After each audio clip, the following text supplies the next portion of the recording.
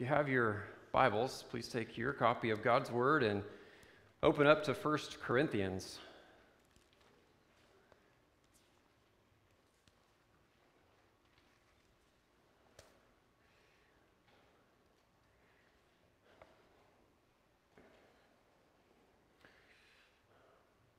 Let's begin with a word of prayer. Heavenly Father, as we come to this time right now, where we open up the Word of God, we believe that this Word is inspired. We believe it's authoritative. It has bearing over our lives. And so, Lord, as we as we come now, I pray that you would give us ears to hear what you're saying, give us eyes to hear what you're what it is you're trying to reveal to us. Give us hearts to receive it today. Convict our hearts, encourage and strengthen our hearts in the ways that we just need you to work. We need you to move. We ask that you would come and work in a surprising way. I pray for our for our kids who are going up for kids worship. I pray the same thing for them as they're hearing the message preached to them and shared with them. Uh, I pray that you would be with them and help them to respond to the gospel the same way that we saw evidenced in Miss Kinsley and Miss Joni, and that we would have more and more people who come through these doors, that you minister to them, you, wor- you, you convict them of their sins, and bring them to a saving faith in your Son, our Lord Jesus Christ. And Lord, we pray all these things in his holy and precious name. Amen.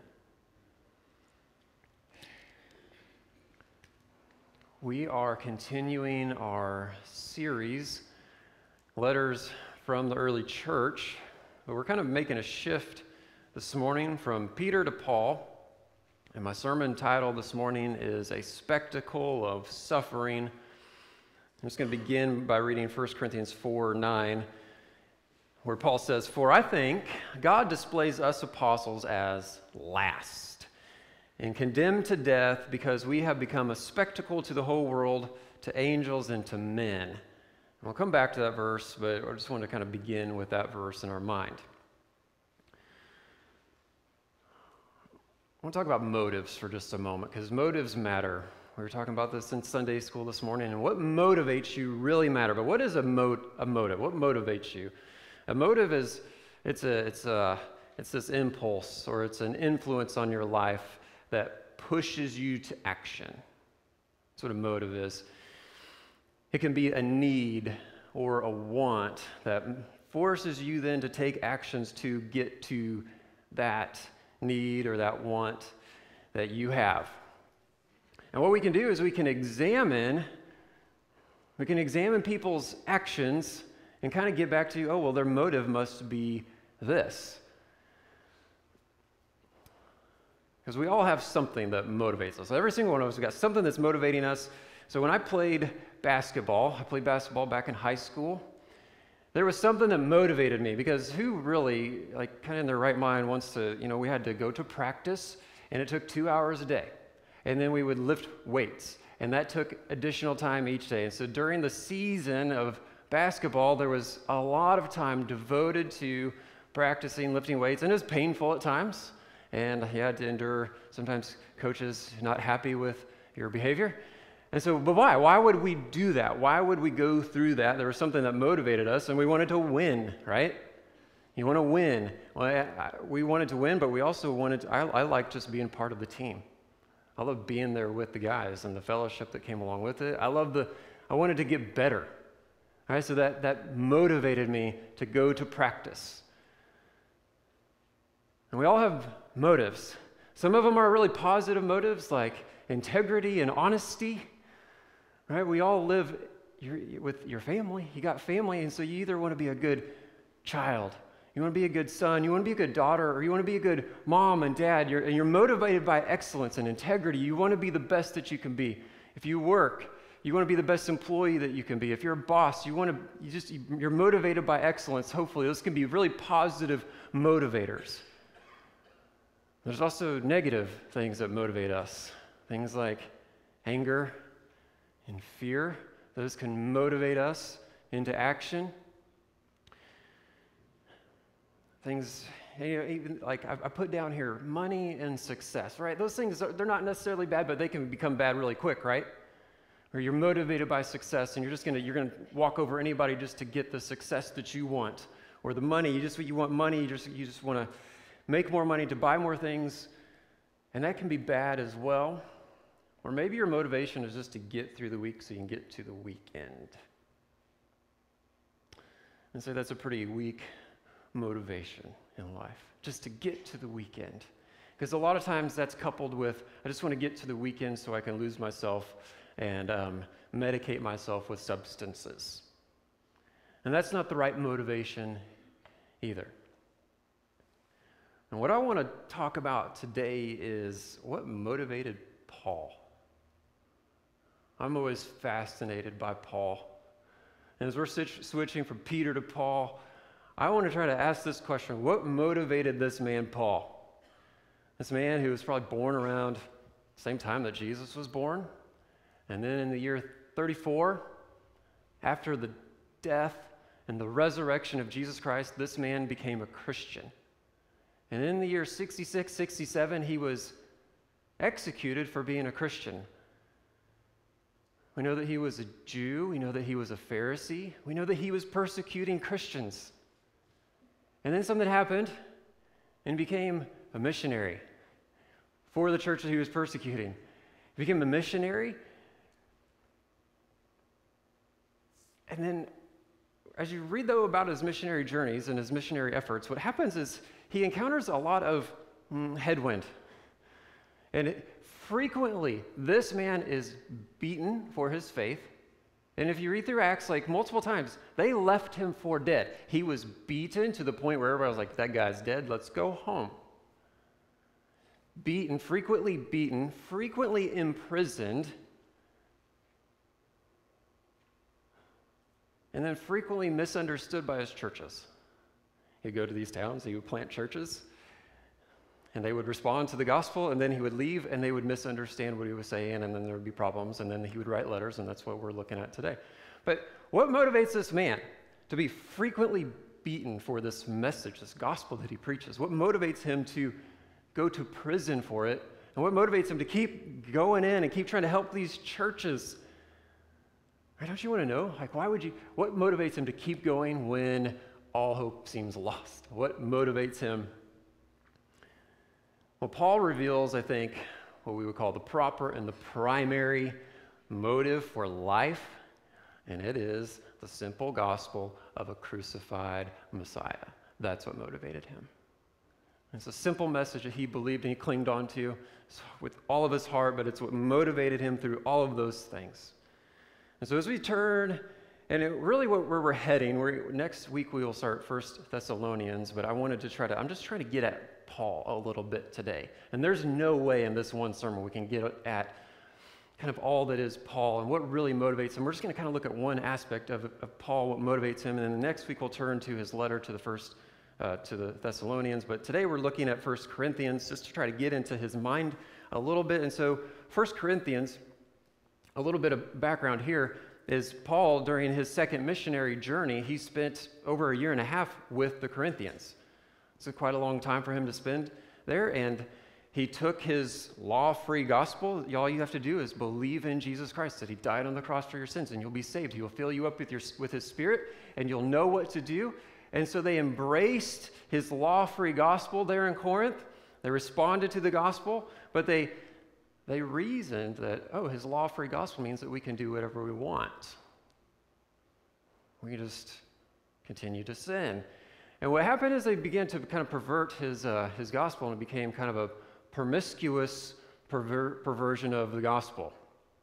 And we're not going to get into all that this morning, but they took his law free gospel and it turned into this promiscuous perversion of it. And it led to the greater problem in Corinth of you have now in this church in Corinth um, division and immorality. Division in the church and immorality in the church. And so he leaves. And then on his third mission trip, he's in Ephesus. and he's wanting to, he hears about what's going on in Corinth. They've responded to, right? He's, he's, he's preached the gospel, they've responded to it. But now there's this immorality and there's division rising up in this church. And in, from Ephesus, he says, I need, to, I need to write a letter. I need to write a letter to this church. And, so, and I like this, this, uh, this passage because this is kind of a high pressure situation for Paul. All right, the, the stakes are kind of high. And what we see here is we're going to see what, what comes out of Paul when he's squeezed. When he comes under pressure, when he gets under stress, what comes out of him? Right? Because I think if you if we really get down to that, that's that's the motive, right? We're going to see what's really inside of him, what really motivates him. When you get stressed, that's going to come out. And this is this is what always happens with Paul. This is one thing we need to know about Paul is that we get a lot of his good theology. One of the reasons why we love Paul is because he's all about theology, but usually we get his good theology because he's addressing something negative going on in the church. Something negative happens in the church, there's for Corinth, there's immorality, there's division. And so he's writing to address those things, which then he has to bring in his good theology, but there's always that occasion. There's always that, there's always something going on, something negative going on where he has to kind of address it. And so again, that's when we, we can squeeze out from Paul kind of his motives and his theology. So in, in Corinth, we have what I'll call the Corinthian misunderstanding. And it, showed, shows itself in at least two ways, where the Corinthians, they favored impressive speeches. Right? They were cultured people, and they favored really impressive speakers. Remember, there's no, there's no internet, there's no TV, no entertainment like that. And so, to really uh, make something of yourself, you had to go into the public square in a public sitting, and you had to be able to deliver a speech really well to make your case known to the public, because there's no TV, there's no news channels. And so you have philosophers of the day who they would go and do that, and what mattered was it was more about how you said the things, how you made your case versus what you were saying. Right? So, how you said it, how well you said it was more important than the content itself. And they valued that. And in their opinion, Paul is a weak speaker. He shows up and he can't compete with the philosophers in his speech. He's a poor speaker. Well, they also favored worldly pleasure. Why? Well, they reasoned, and the philosophers reasoned, that God gave us these pleasures. God gave these pleasures to us, and so we should enjoy them Gods have given them to us, so we should enjoy worldly pleasures. And uh, just in Corinth, all you, all you have to do is start reading further ahead, and you start realizing that the pleasure that is kind of the problem in Corinth is sexual pleasure. And so they're, they're, they reason that if it feels good, then you should do it. Does it sound familiar to any other culture? If it feels good, just do it. And so, in their mind, Suffering and self sacrifice, does that feel good? No. And so for them, Paul lived a cursed life. He's cursed of God. Everywhere that guy goes, what happens? He's beaten up, he's thrown in prison. Sometimes he has to turn tail and just run out of the city at night right? And they had, they've had other philosophers do a similar thing. They come into town and preach their philosophy and take money from the people. And what do those philosophers do? They leave at night, get out of there. And so they're, they're evaluating Paul and all of his behaviors, and they say, he's, he, he's a fool. This man, Paul, is a fool. He's cursed of God. He lives this life cursed of God. He abstains from pleasure, and look at how he suffers. And therefore, for the Corinthians, Paul is less credible because he suffered so much. Right? Do you see how they're thinking? He's less credible because he's suffering so much. Paul, that, that guy, he is just motivated by foolishness. And what they conclude is we should not imitate him.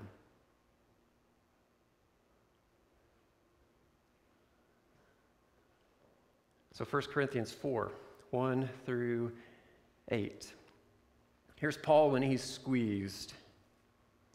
And part of the, the, the dilemma going on in Corinth is there's a, the division is over. There are some people in Corinth saying, well, hey, you know, since Paul has all these question marks around him, we're of Apollos. We're of this other apostle, Apollos. Um, and then there's this other group that says they're of Paul.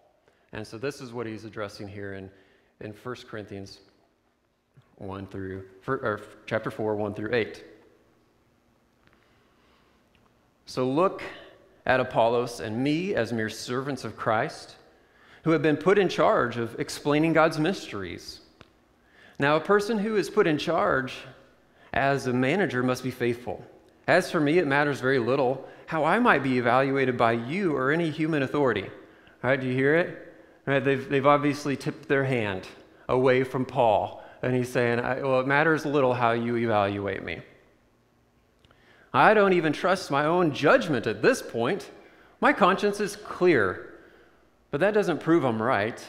It's the Lord Himself will, who will examine and decide. So don't make judgments about anyone ahead of time. Before the Lord returns, for He will bring our darkest secrets, our motives to light and he will reveal our private motives. Then God will give to each one whatever praise is due. Dear brothers and sisters, I've used Apollos and myself to illustrate what I've been saying. If you pay attention to what I've quoted from scriptures, you won't be proud of one of your leaders at the expense of another. Right? Because that just causes division. For what gives you the right to make such a judgment? Why do you have, what, what do you have that God hasn't given you? And if everything you have is from God, why boast as though it were not a gift? You think you already have everything you need. You think, you, you think you're already rich. You've begun to reign in God's kingdom without us. I wish you really were reigning already, for then we would be reigning with you. And here's the verse. Instead, I sometimes think that God has put us apostles on display like prisoners of war at the end of a victor's parade, condemned to die, we have become a spectacle to the entire world, to people and to angels alike.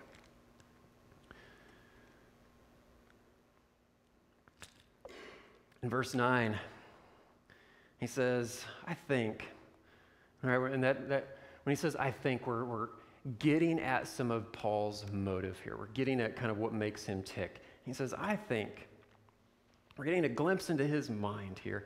And he says, I thank God.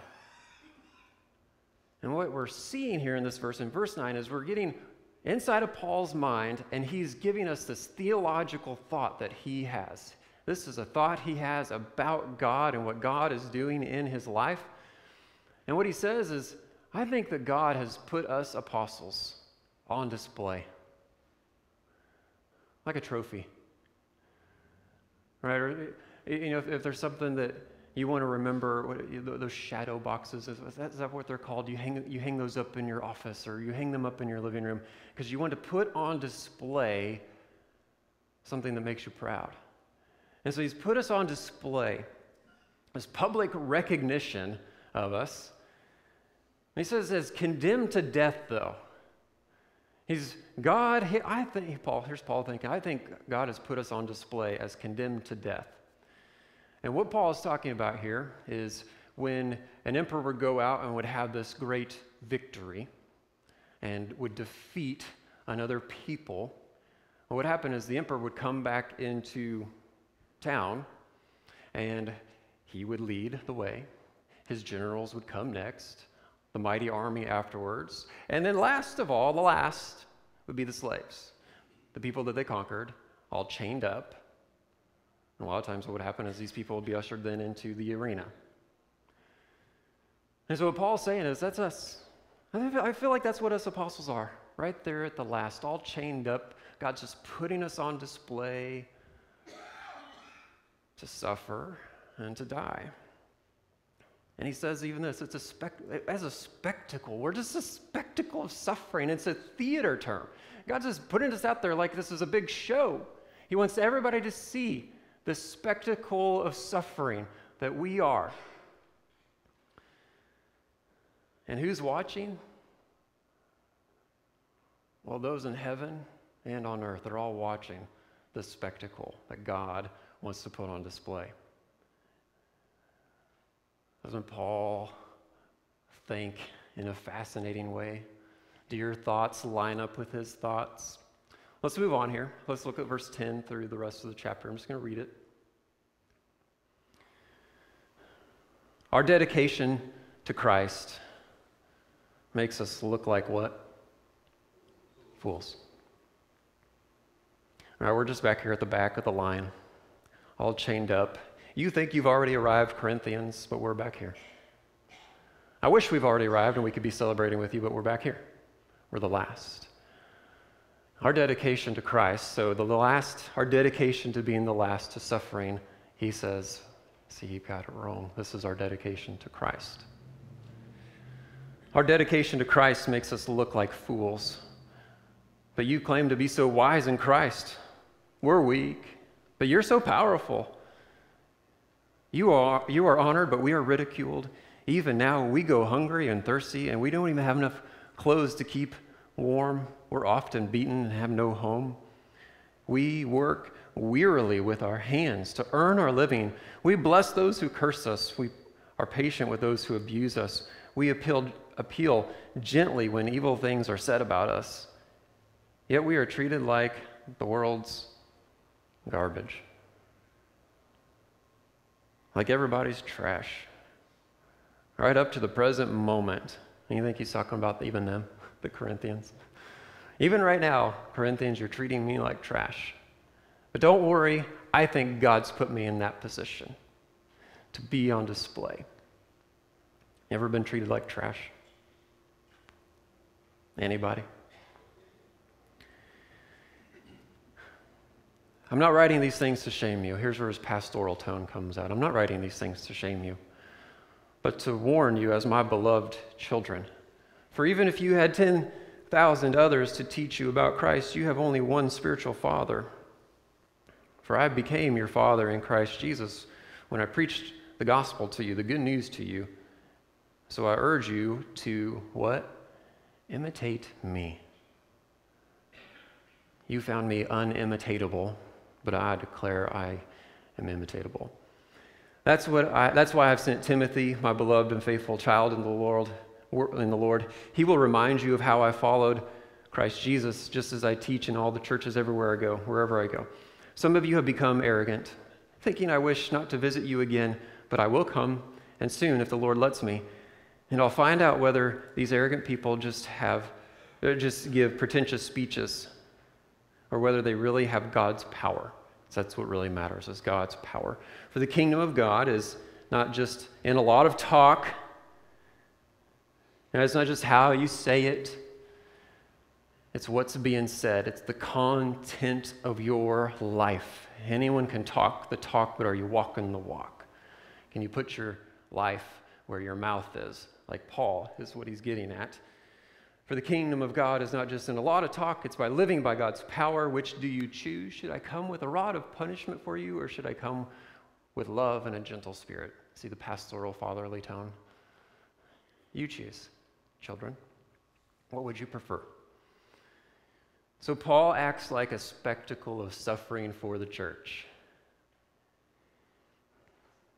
He wants to preach the gospel of foolishness to the cross, of the cross He's going to preach, he's going to speak with weak words, but with the power of God, he doesn't mind if he's going to come in weak words because what, for him, what matters is the very power of God. So he's going to be a spectacle. He's going to preach this foolish gospel. He's going to, he doesn't care if he's going to sound weak, he's still going to preach in the power of God. He even said at the beginning of 1 Corinthians I, that I'd, I would forget everything but Christ and Him crucified.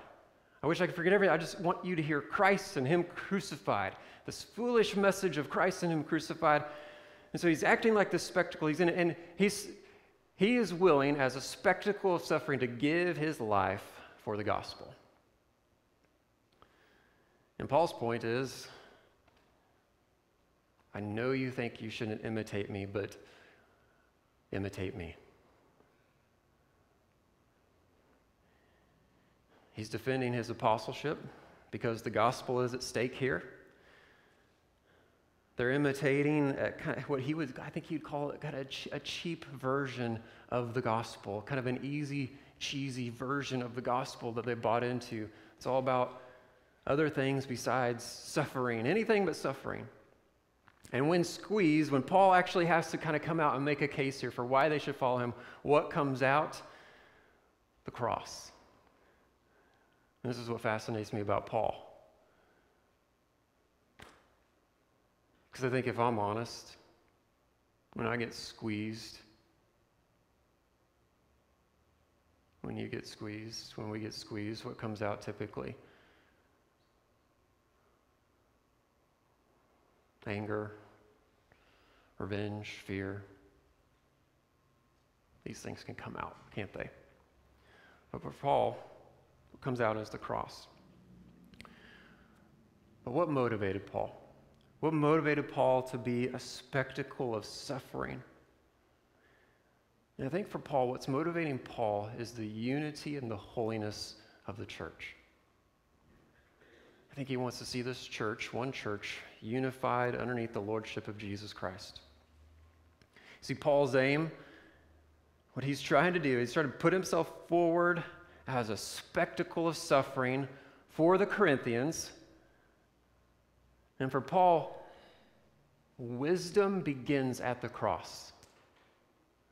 Right? For the Corinthians, they said this is foolish, but for Paul, it, where does wisdom, where are we going to start when we talk about wisdom? For Paul, it begins at the cross. Wisdom begins at the cross, and so he just embraces that foolishness. I know it sounds foolish, but that's where the wisdom of God begins, is right there at the cross. And therefore, Number one, self sacrifice becomes a primary example. If that is the wisdom of God, if that's how God worked in His Son, our Lord Jesus Christ, is through a self sacrificing man, if that is the example, it is our example. If wisdom is found at the cross, then that becomes our example. Self sacrifice becomes the primary example. And two, pursuing what I want and what feels good.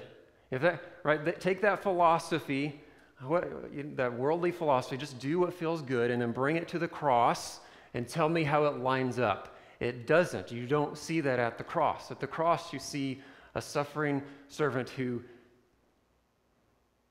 self sacrificed for you, gave up everything for us.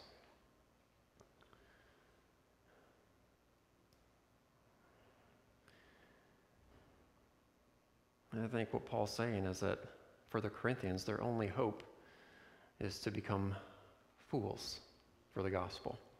Become, become fools like Christ, become fools like Paul.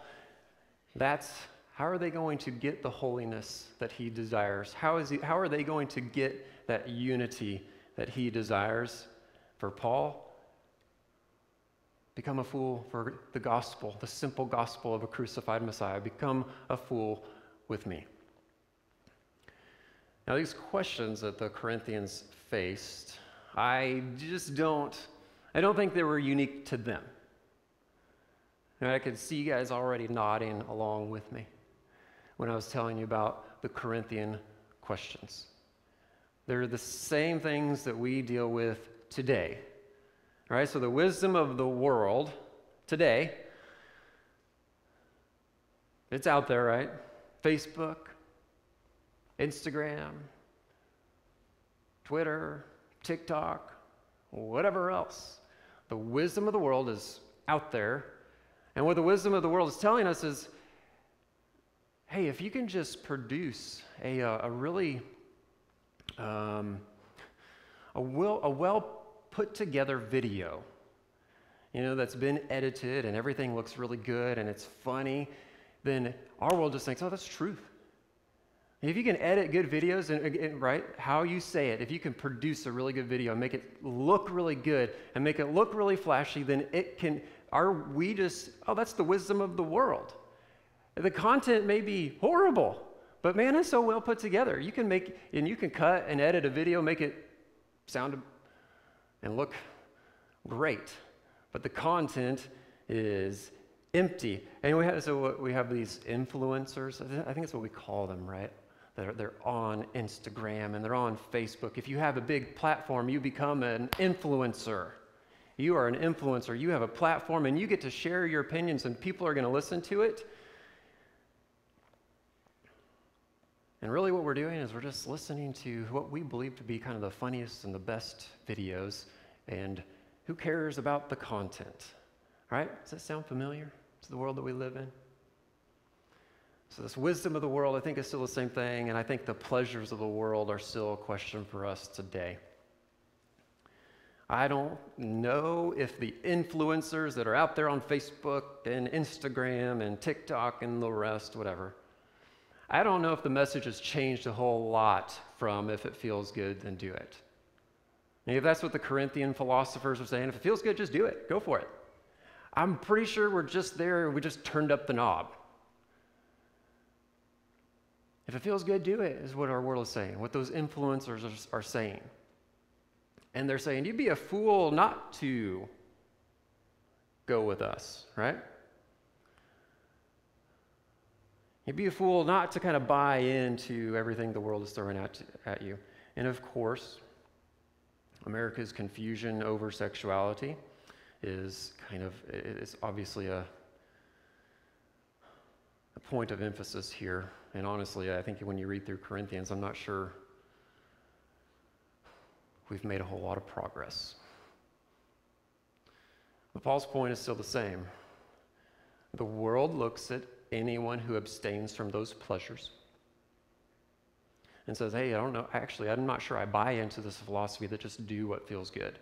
I, I subscribe to a different philosophy. If you, if you start backing off of that, what's the world begin to call you? Fool.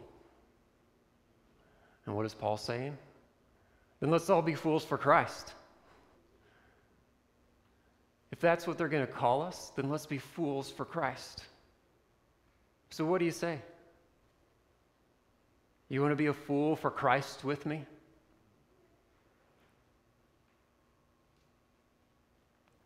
I say we do it. And I think that's the question, right? Is Paul going to be our apostle? We're kind of getting at what motivates him, what propels him. But the question for the church in Corinth is are we going to trust Paul? Is he going to be our apostle or not? Is the question for us today as well. Is he going to become, are we going to let him come in and be our apostle? and start messing with and monkeying with the, the wisdom of the world that we ascribe to and to the pleasures of the world that we ascribe to. We're going to let him come in and say, no, no, no, let's line that up with the cross. Anything, does that match up? Let's, yeah. When you're squeezed, what comes out? If Paul is your apostle, when you're squeezed, what's going to come out is the simple message of the gospel of a crucified Messiah if Paul is your apostle, what happens when you're squeezed is you're just going to say, okay, well, then I'll self sacrifice. I'll give up what I want for the sake of other people. And again, just think if that's if that if everybody is kind of operating like Paul sets out here, I, I think it'd be a unified church. I think it'd be a church that said no to immorality and said, no, let's be holy. Let's be holy.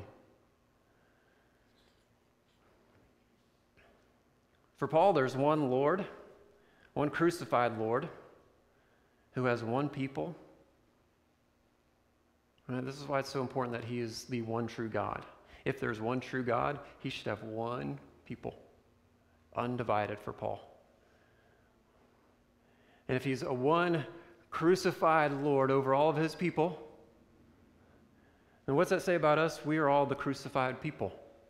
This is what Paul says in another letter. He says, I've been crucified with Christ. It's no longer I who live, but he who lives in me. And he talks about how I've been crucified to this world. All my desires and everything that I thought was like really valuable in this world, I've, I've been crucified to that, and I am now living a whole new life in Christ. So if there's one crucified Lord, he should have one crucified people. And do you see why sometimes when he when he sees and hears about divisions in his church, he's like, no, no, no, no. Because there's one Lord, and he should have one people with no divisions in there whatsoever. And the way that we maintain that, and the way that Paul puts himself forward and says, okay, okay, we got a problem here. How are we going to fix it? We have got to take upon us this crucified life. I wanted this, but for the sake of everyone, I'll give it up and live this self sacrificial life, which looks like foolishness to the Corinthians.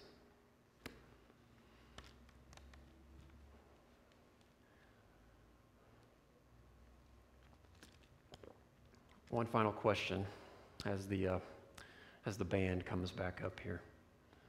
We're going to sing a song of, uh, uh, uh, we're going to sing another worship song.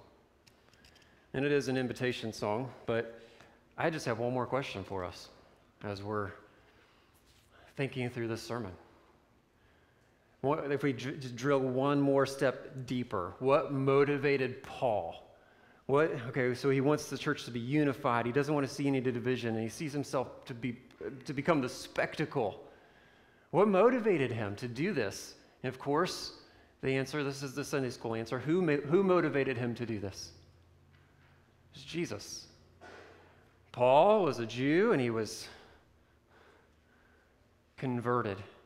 On the road, he was knocked off his horse and he came face to face with Jesus Christ, the one. The one. So, what motivated him? A man. It was a man. His name is Jesus Christ. And he was the most beautiful man that ever lived. He lived a beautiful life, sinless life. He didn't do anything wrong. And Paul came face to face with this man. He encountered Jesus. And this is such a spectacular thing. We, we, it has a special name. Scholars call this a Christophany. When Paul, he, uh, his motive, what? I'm going to go kill those Christians. That's his motive. That'll, that'll be good. And on the road, he encounters someone, a man, the perfect man, the highest man. Jesus Christ, and everything changes. He goes from a motive to kill Christians to saying, I want to be a Christian. I've encountered not a, not a theology, not just like a, it, it, it was him. He encountered Jesus. It was Jesus who interacted with him. It was Jesus who met with him and changed his life. And that's my question for you. Have you met Jesus? Not all this. I love church. I love religion. I love all of this stuff that we're doing. But the question, the question that Paul keeps coming back to is just the simple gospel of a crucified Messiah. And what Paul would say is all you have to do is believe in him and you will be saved. Wait, that sounds foolish. Think about all the sin in my life. You're just telling me he's going to come in and wipe all that away? Yeah, I know it sounds foolish, but we call it grace. We call it mercy. And it's illogical. It doesn't make any sense. And it, you can't make it make sense. But I'm telling you what Paul has told you if you just believe this good news, you believe this gospel that there is a crucified Messiah and he died on the cross for your sins, Paul says you will be saved in that very moment you believe. Doesn't that sound good? Have your sins washed away, just gone? Well, my question is have you encountered him? Have you had that moment? Know, it, it's maybe not going to be as dramatic as Paul's moment where he was knocked off his horse and he, he couldn't even see for a while. But have you met Jesus? I'm not asking if you come to church and if you do religious things. I'm asking, have you met him? If you haven't, you're missing out. He's wonderful. He's perfect. He's the highest. He's given everything for you. Everything. He gave his life for you. And what he says is, Come, come to me. Come to me. Bend your knee before me. Give me your life, and He will restore us and give you life. Why don't you bow your heads, close your eyes? If today you would say, I know I haven't had that moment. I haven't had that time where I met Jesus. But I want to. He sounds wonderful. He can wash away my sins, and yes, I want to believe in him. And it's just that simple? Yes, it is just that simple.